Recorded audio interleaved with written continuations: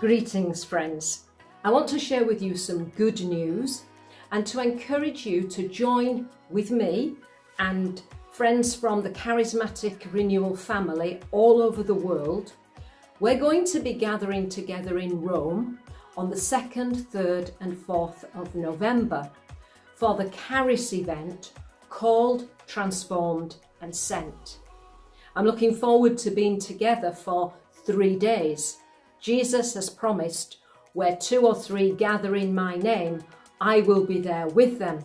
Well, certainly there'll be more than two or three of us. So we can be expectant that the Lord will be with us, that He'll speak to us, that He'll encourage us, and that He'll lead us forward with new strength.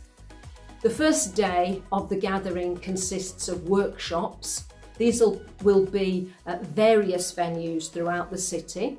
And then on the second and third day of the gathering, we will be in the Pope Paul VI Audience Hall, the venue of so many historic and prophetic encounters.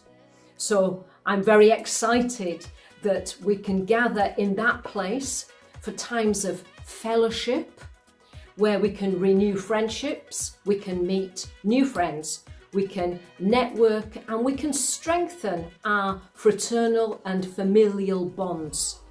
There'll also be inspirational talks which will help with our formation so that we can be strengthened in the Lord, empowered by the Holy Spirit for our mission and then sent forth into the world. I'm sure there will also be wonderful times of worship and praise and celebration as we're gathered together.